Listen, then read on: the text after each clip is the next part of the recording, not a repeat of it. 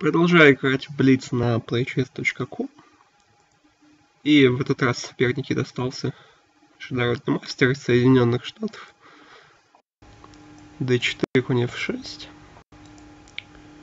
И опять иду ферзевый гамбит. Или в Немцовича, но нет, конь f3. d5, конь c3. Попробую снова сыграть слон e7 предыдущий эксперимент, как многие из вас, наверное, видели, оказался не слишком удачным. Ничего.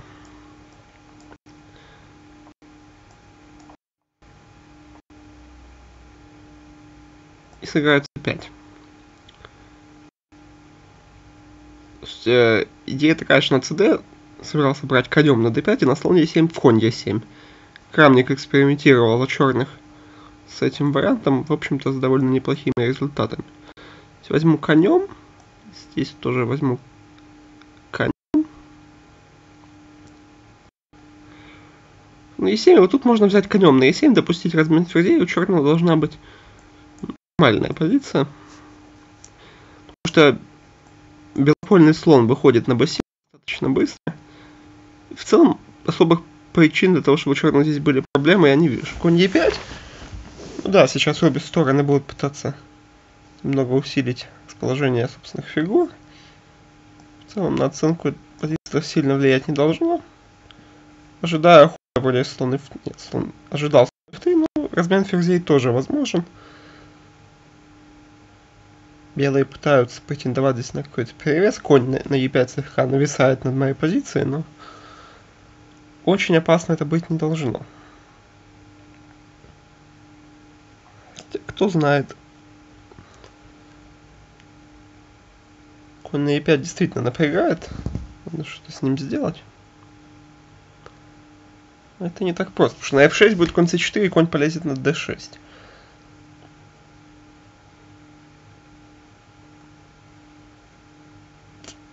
Ну, давайте попробуем поменять другого коня тогда. Вроде бы на конь b5 я могу пойти просто a6. И ничего страшного с черными не происходит конь d5, слон d5. И черные хотят взять на 2.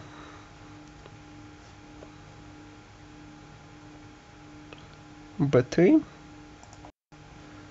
Пытаюсь сбить коня.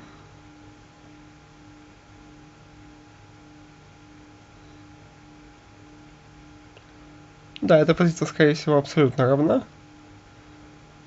Небольшая инициатива белых постепенно выдыхается.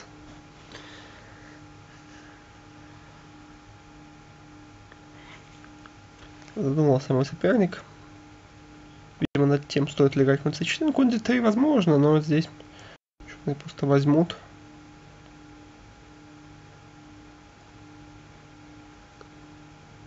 Да, кстати, на слон d3 надо считаться слон c1, слон g2.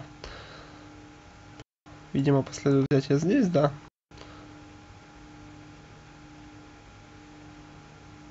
Ну, позиция совершенно равна.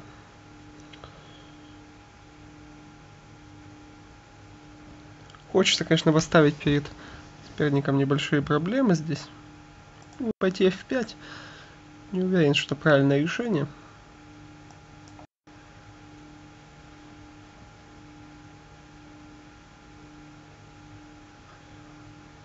Но такое вот расширение фланга может оказаться полезным. Другое дело, что все равно, в принципе, это ничего особо не дает черным.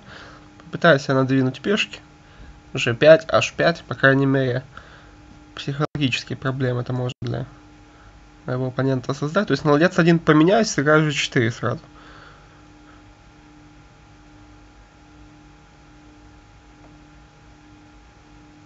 f1. Король e5 задумано, очевидно, f4.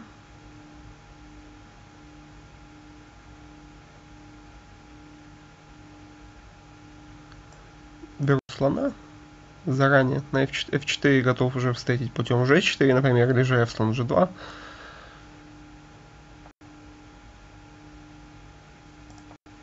e5. Возьму на f4, сыграю, наверное, этого. Все-таки e4. Ну да, но это не совсем то, что хотелось бы, и белые здесь уравнивают 8, на слон h5, ладья g2, и все пешки меняются.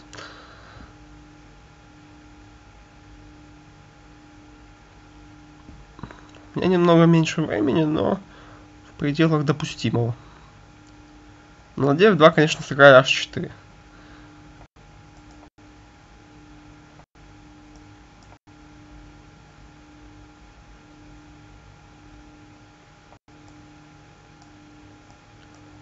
Пытаюсь как-то растянуть оборону белых.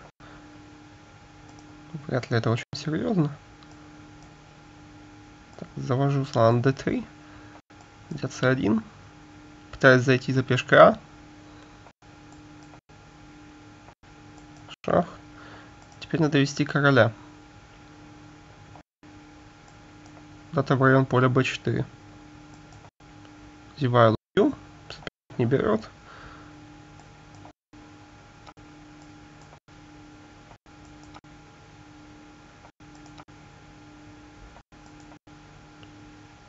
Здесь уже черных, наверное, хорошая позиция. Проигранная позиция, если быть точно.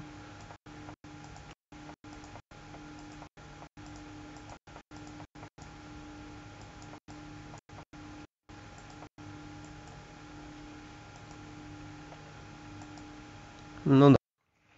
Вот в такой нервной концовке удалось победить. Всем спасибо за внимание.